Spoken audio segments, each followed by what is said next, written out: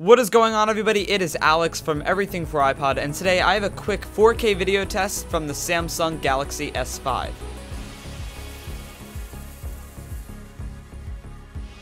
In the camera application on the S5, there is an option to change the video quality, and you can bump it all the way up to Ultra HD, which records at a resolution of 3840 by 2160 at 30 frames per second, also known as 4K. If you go into that mode, you do lose some features, including video stabilization, so the videos tend to come out more shaky in 4K than they do when recording at 1080p.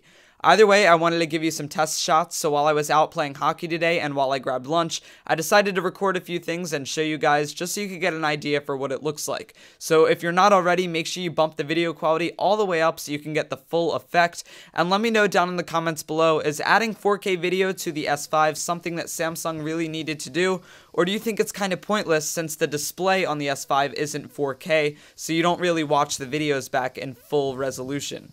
Enjoy the test shots, make sure you're subscribed so you don't miss out on any of my future S5 content, and I'll catch you in my next video. See ya.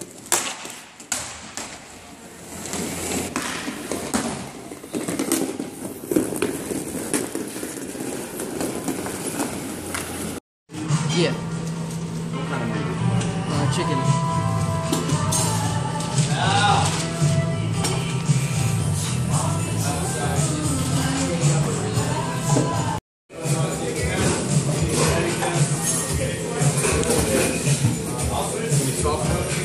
Uh, yeah, can I get mild on medium? And sour cream and cheese.